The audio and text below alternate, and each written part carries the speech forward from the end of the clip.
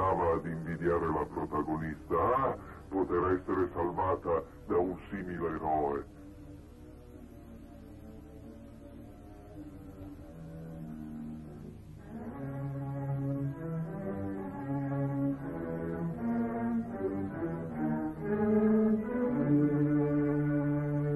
Ed eccolo, bello come un semidio sdegnato difesa della debole fanciulla.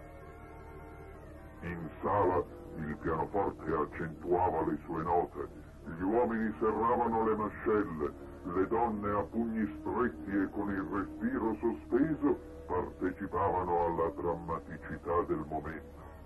E quanto provvidenziale per tutti era il suo intervento,